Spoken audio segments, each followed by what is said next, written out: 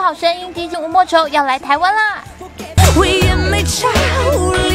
他将在二零一五年一月三日带领二十位歌手，包括第一季、第二季的冠军李奇及张碧晨。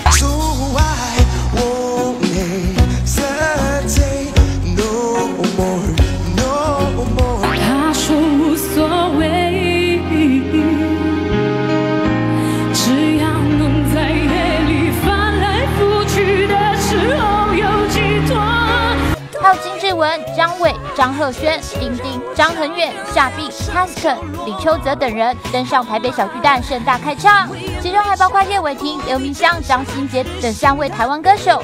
叶伟霆更表示，希望能够带大家去品尝台湾夜市美食。而听到这个消息，粉丝也都相当期待。